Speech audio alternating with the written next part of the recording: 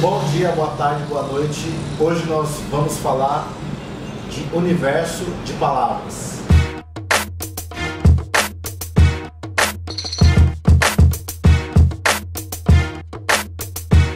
Te explico, consultor de moda não, consultor de rima. Quando você vai escrever um rap, uma poesia, um texto, quantas vezes as mesmas palavras vêm na sua cabeça? Ou quantos artistas, poetas ou músicos você vê com frequência usando os mesmos termos e frases em músicas diferentes?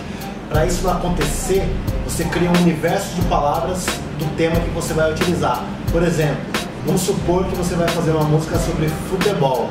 Você já pega uma lista e já começa a colocar as palavras que faz parte desse universo. Por exemplo, cabeceio, voleio, escanteio, zagueiro, goleiro, atacante, centroavante. Por aí vai.